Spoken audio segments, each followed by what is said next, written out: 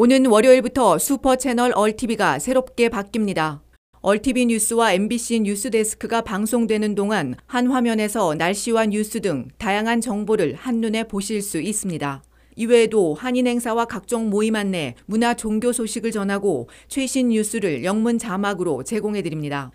캐나다 현지 CP24 방송 시스템과 동일한 multi-zone으로 화면을 나눠 여러 정보를 동시에 접할 수 있도록 특별히 제작된 프로그램입니다.